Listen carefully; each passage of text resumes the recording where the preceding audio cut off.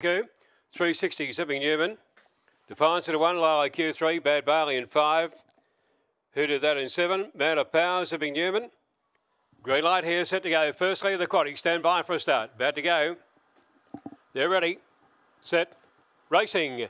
And slow to begin there would have been Lala Q and pace after the start. Man of power drove through on the inside quickly, headed now by Slingshot Sudoku. It whipped around the outside and took up the running. Going after it, zipping Newman. They were followed further back by Man of Power, Lala Q. Gap on the race into Bad Valley, followed by who did that in the straight though. It's still uh, Slingshot Sudoku the leader. Zipping Newman over the inside, but Slingshot Sudoku won it.